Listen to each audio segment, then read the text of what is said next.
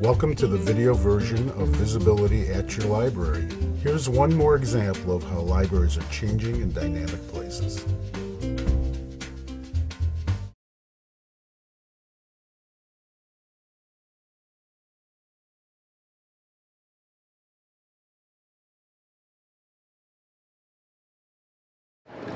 I remember going into uh, community library when I was growing up, probably when I was eight, nine, ten years old, and that was just the, the, the, coolest place because it was where, where I could go and just rummage through books, find whatever book I wanted, find a table, uh, you know, just kind of lay out all my stuff on a table, do my homework, but actually more important, just kind of browse through, browse through books. And I have, I have very fond memories of uh, community libraries. And then when I was in college, I went to school at Stanford University, and so of course I, I frequented the Stanford, Stanford Library probably every day.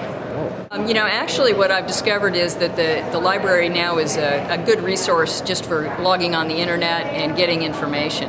Um, so I tend not to use it um, in kind of day-to-day -day life unless it's for a science periodical, a science journal that I don't happen to subscribe to.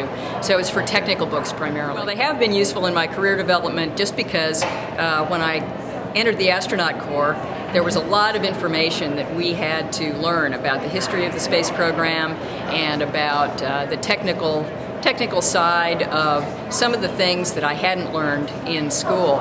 And there's no better place to, to learn about that or to find all the technical books um, than a library, especially since in a bookstore, if you're lucky enough to be able to find one, it's probably going to cost you an arm and a leg. So libraries were very helpful. Well, I think the future of libraries in space are going to be digital libraries because you do not want to be carrying paper and books into space because you have to build a bigger and bigger rocket uh, in order to launch them.